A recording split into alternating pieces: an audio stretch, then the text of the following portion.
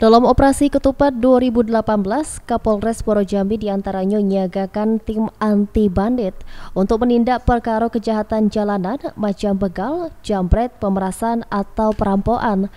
Personil ditempatkan di seputaran kilometer 46 Bukit Baling karena daerah itu cenderung sepi dan berpeluang terjadinya kejahatan dan tidak menutup mata untuk daerah lainnya yang juga menjadi perhatian.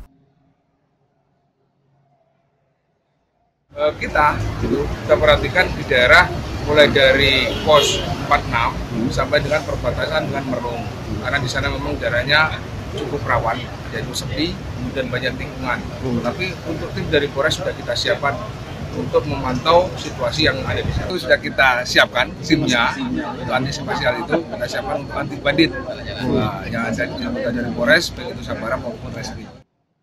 Para pengguna jalan diharapkan memaksimalkan tingkat waspada baik terhadap kriminalitas dan juga kecelakaan lalu lintas. Salah satunya pola kewaspadaan jangan melaju dalam kondisi lelah.